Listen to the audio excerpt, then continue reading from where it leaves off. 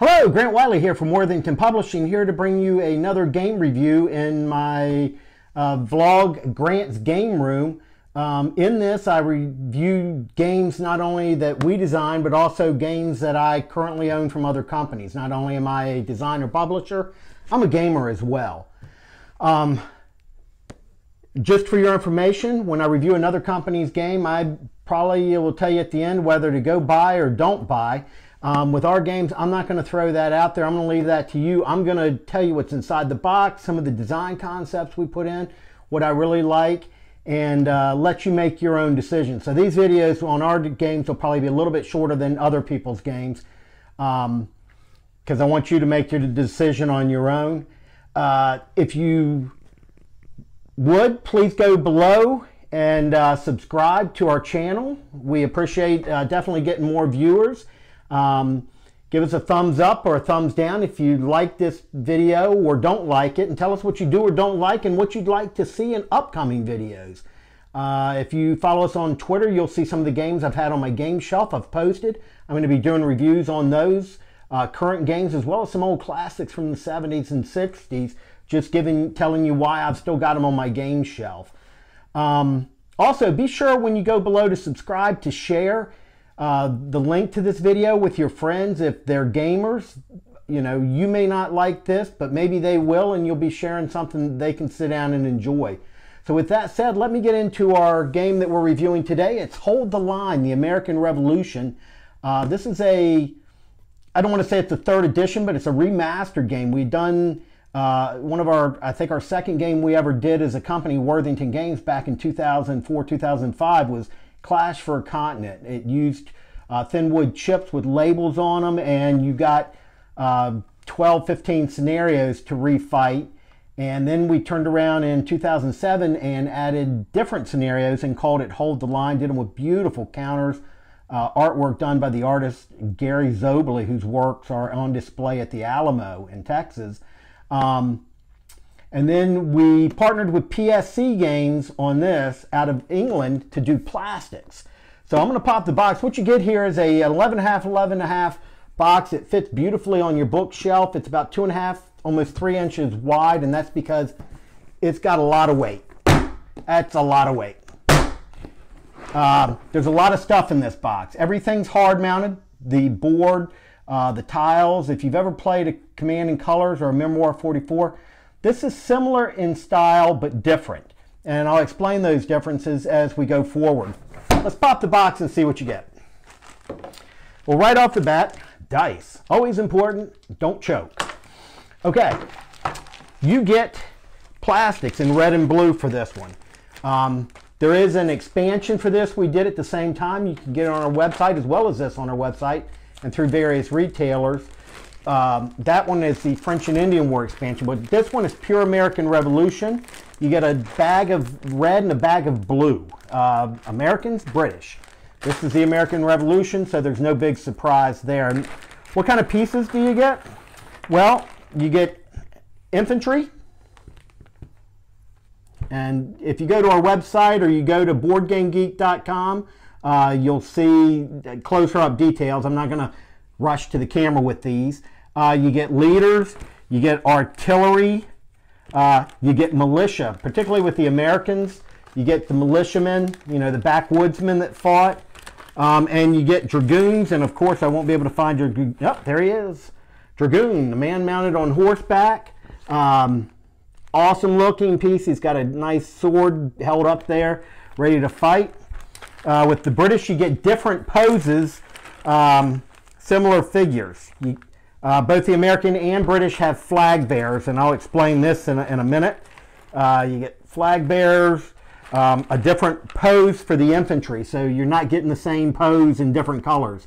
Um, it, it's actually a marching British soldier, looks like he's marching up Bunker Hill, and the Americans ready to stand firm at Guilford Courthouse. Um, these are really well designed. They're about, I think they're 22, 25 millimeter. They're sturdy bases. They're nice big square bases. These guys aren't your, your typical fall over. Now he fell over because I gave him a good push, but as you can see, you know, they're not just tipping over. Um, the figures are good quality, soft plastic, semi-hard plastic. Um, we didn't want them too brittle to where they're snapping in your hand. Um, at the same time, like if you got a bent sword, a bent bayonet, if you hold it between your fingers for about five, ten seconds, give it a little pull, it straightens right out. I mean, that's pretty good. I was very pleased when we got these in on our design proofs to look at, at how good they looked. Okay, going deeper. Um, much like Command and Colors, and if you're watching this, you've probably played Command and Colors or Memoir 44, uh, the World War II version, Richard Borg's classic titles. Um, you get a 9 by 13 hex grid. And this is a, oh, look out, don't lose an eye. Uh, a 9 by 13 hard mounted board, lays good and flat on the table. Um, it's huge, as you can tell. A nice big board. And in the you get two books with the game, a rule book and a scenario book. And in these, they tell you how to lay out your battles. You also get two player aid cards, full color, front and back, that give you terrain, um, weapons, a turn chart, um, how far each figure can fire. Uh, the rule book clocks in at 12 pages. You got another player aid chart on the back. Can't have enough of those. Um, the rules are full color, beautiful. Lots of big graphics examples. There's a full page there. Um, and then you get into some optional rules and really a full page. So really you're probably looking at about nine, eight to nine pages, easy reading. It's not a lot of um, heavy reading, not a ton of exceptions, things like that. I don't like those. I know a lot of gamers don't like those. Don't give me a 40 page rule book with 12 pages of exceptions to your rules. Um, scenario book. You clock in at over 30 scenarios, and I'm going to run real quick through some of these. You get Lexington and Concord, Bunker Hill, the Battle of Great Bridge out in Chesapeake near where our headquarters is, Quebec, Arnold at Quebec. Here you're trying to scale the walls at Quebec and break into the fortress around Quebec. Moores Creek, Long Island, Harlem Heights, White Plains from the New York campaign, Trenton, Princeton, Hubbardton, Bennington, Brandywine, Birmingham, Hill, Freeman's Farm, Germantown. I wouldn't stop to breathe here. Bemis Heights, Monmouth, Monmouth Afternoon, Newport, Stony Point, Paulus Hook, Savannah, Camden, Morris Groves Mill, Kings Mountain, Cowpen, Weitzel's Mill, Guilford Courthouse, Hobkirk Hill, Green Springs, Eutaw Springs, and yes, Yorktown. Uh, lots of playing there. Uh, you can play these battles in anywhere from uh, 30 minutes to an hour and a half, depending on your play speed. Um, with these, due to uh, with the different terrain types you get, you punch the hexes out, you lay them out on the board for the different battles. We tell you how to lay them out. Uh, you get rivers and swamps, uh, um, lots of rivers, lots of swamps, um, hills, towns, villages, uh, fences, breastworks. Let's see. More trees. We did a cool piece. It's a mega piece. It's one giant piece. You don't have to lay out eight hexes for this. This is one piece here that you just lay down on the board. It's representative of like the entrench entrenchments at Yorktown when they took redoubts 9 and 10 there, uh, if you know anything about that battle. Uh, a row of entrenchments along, like along Bunker Hill, um, a wall, Quebec, and another entrenchment for, like I said, redoubt 9 and 10 at um, Yorktown. You get a, a, row of flags here to represent the different military units. Um, these uh, you put one sticker bearer with like a regular, three regular infantrymen, and that's a unit of regular infantry. I'm going to explain how the pieces work. I'll go into a little bit of game, game detail, and that'll be the end of today's video. Um, each unit type, and it's infantry, uh, elite infantry, dragoons, artillery, uh, militia, are all rated different. And we did that for a reason. Um, infantry are like three figures with a flag bearer, so you get four figures.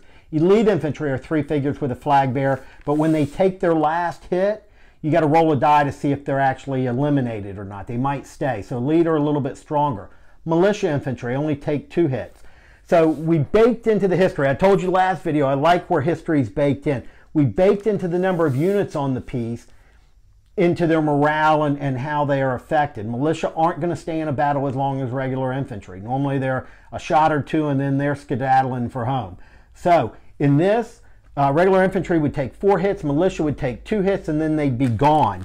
Dragoons take two hits. They're not going to stay in a battle long. Uh, one one soldier said he never saw a, a, dead cavalryman on a battlefield. I think that came from the American Civil War. Um, now, how are we different than like Command and Colors and Memoir 44 here? Command and Colors Memoir 44 breaks your battlefield up into three sections, left, right, center. And you get cards, and some of your cards work on different flanks and different positions or all of the positions. I like Memoir 44. I like Command and Colors. Um, so don't take this as a criticism. We did this with action points. And what we did is we rated generals based on the command and how well they handled troops on a battlefield. I never liked the fact that uh, I'm out of left flank cards, so nobody on the left flank can move until I draw a left flank card. Um, and I get the logic in that is that sometimes things happen out of your control and you, you know, as a leader, your men on the left aren't moving. But in ours, each leader in each battle is assigned a set number of action points. Uh, Washington at, at, the Battle of Monmouth afternoon might have four action points. That means he can activate four of his units for, and when I say a unit, I mean like three infantry and a flag and one hex, uh, uh units in one hex. Um, he can activate those units, four of them, for fighting, close combat. Close combat costs two action points, I believe. Um, to fire cost one, range fire artillery can fire like three hexes, infantry two, uh, different things like that. We also add a random number of action points. Each turn you roll a die and you get from one, sometimes zero to four, just depending on the battle, action points to add to your base action points. So say I rolled a one with Washington at Monmouth.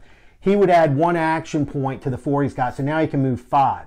So you might have this grand plan that, oh, this turn I'm going to advance my whole army and, and, you know, just overwhelm the enemy.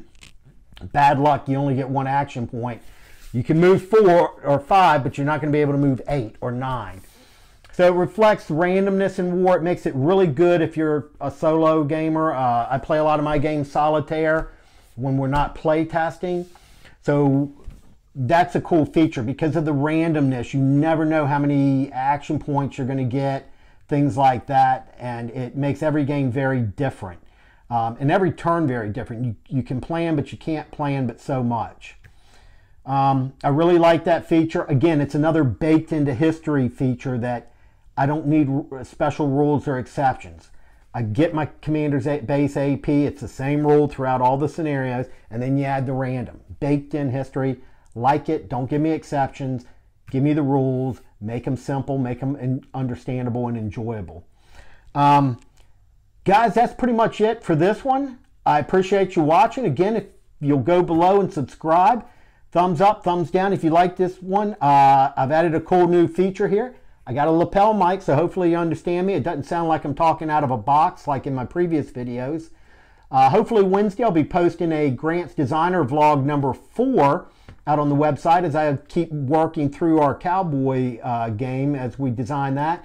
And I'm also going to be on Grant's Design Vlog talking about upcoming games with Worthington Publishing. So, um, you know, give you a preview of some of what we're working on that may be a little bit down the road or it could slide in front. If we find we get a breakthrough with a game, sometimes we'll swing around production schedule and run something to the front versus waiting to produce it. I appreciate you watching. Thanks. And be sure to check back in uh, Wednesday, like I said, for the designer vlog and some more game reviews. Hopefully on Thursday or Friday, I'll be reviewing the 1975 game Skirmish. Uh, I believe that was Milton Bradley. Um, and there's a reason I'm going to be uh, reviewing that one, and I'll tell you why then. Thanks. Have a great day. And as always, happy gaming.